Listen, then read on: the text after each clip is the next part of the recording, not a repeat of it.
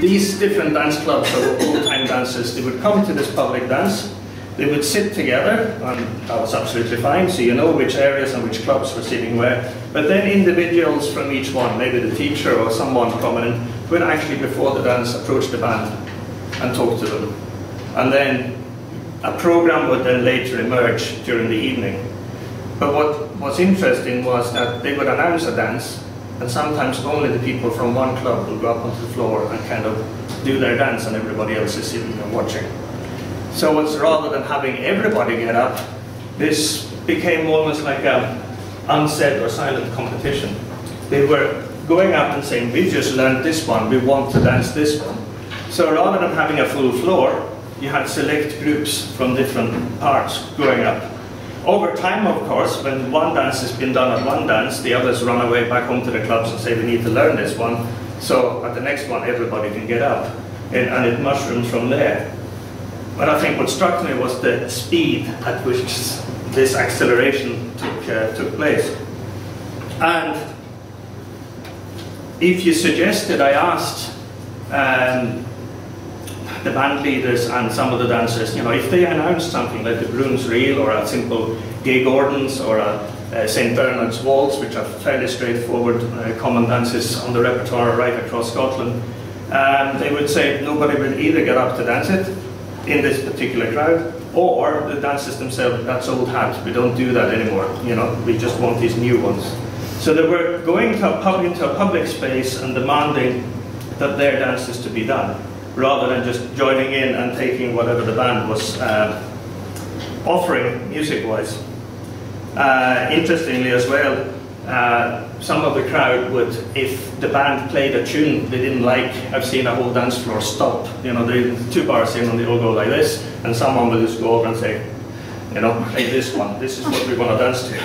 And the musician go, mm -hmm, and then carry on. Quite extraordinary. But anyway, that was going on. If you, as a tourist, turned up to one of these public dances and paid your five pounds as it was at the door, and expecting to do something that everybody could join in, maybe have a caller that Dave is going to talk about his role in Scottish uh, dance and music. That didn't exist. You became excluded. Or if you came as some an occasional dancer, you couldn't get a foot in. This became a domain by these groups doing uh, their thing.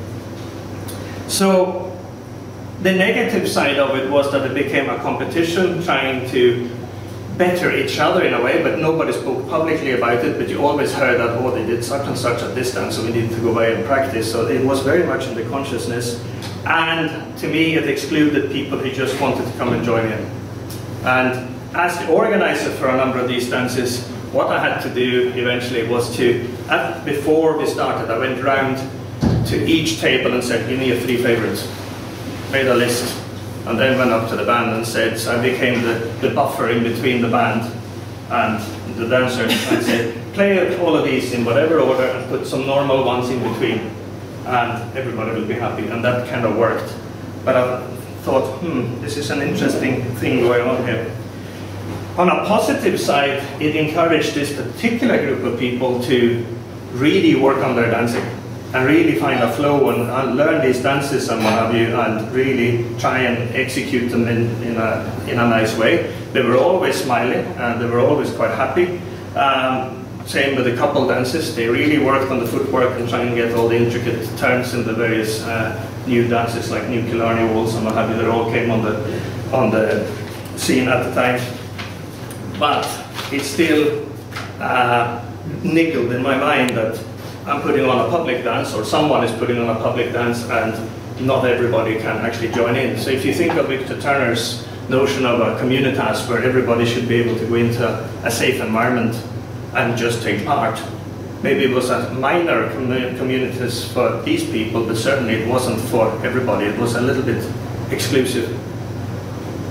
At the same time, I could go just a couple of miles down the road from one of these dances to a little uh, village called the Murroes, just north of Dundee, where people from three villages would come in and it was open to the public.